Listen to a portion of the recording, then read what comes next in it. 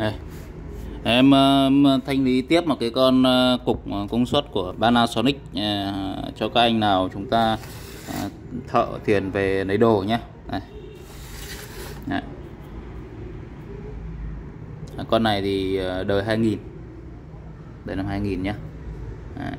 dòng hai cầu tiếng này nhiều khi các anh về có những các cái con mà nó bị gãy mất cái này muốn đi mua được những cái này để thay không có ở đâu ra thì đây.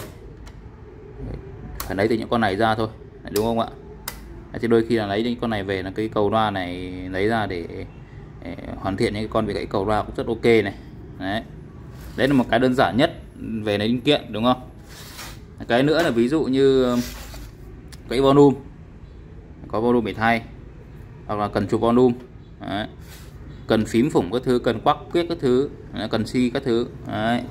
Rất nhiều thứ có thể là dùng để thay ờ, thế sửa chữa các cái bộ dàn ờ, của các anh. Đấy thì con này là con Panasonic à, SABM35MD đấy con này hàng nó về thì, thì nó mất một cái nắp ờ, cassette đây rồi. Với lại em cắm điện ở đây thì hình như nó không liên quan hay sao ấy. Em chẳng nhớ nó để nâu trong kho rồi. Thì thôi em thanh lý luôn à, nói chung nó nằm ở trong cái đống lỗi hỏng gì đấy mà nhà em ờ, sau khi test thấy nó hỏng thì vứt vào đấy thì cũng lâu lâu thì cũng chả sờ đến cũng chả nhớ là nó bị lỗi gì. Em chỉ biết là con này là nằm trong hàng lỗi thì em bán luôn ờ, thanh lý. À, với uh, giá là đi hai trăm rưỡi cho cục này. Về các anh em thợ chúng ta lấy đồ chúng ta làm gì các chúng ta làm nhé. Đấy.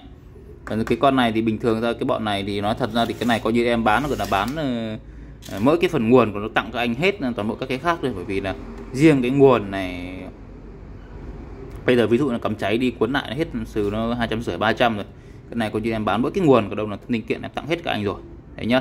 Thì ờ, giá là hai trăm rưỡi, để anh nào có nhu cầu mua thì hãy liên hệ cho bên em qua số điện thoại là 0966 594 3581 hoặc là 097989 1682 để đặt hàng nhé Vâng em xin chào các anh.